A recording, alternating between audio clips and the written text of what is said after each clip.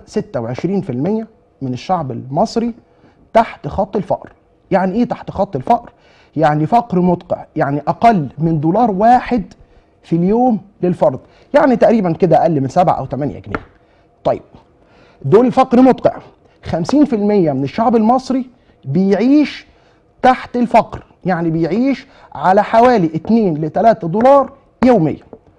طيب 60% من الشعب الصعيدي آه، وخاصة أسيوط رقم واحد هي أفقر البلاد وبعدها تليها سوهاج 60% بيعيشوا في فقر مدقع.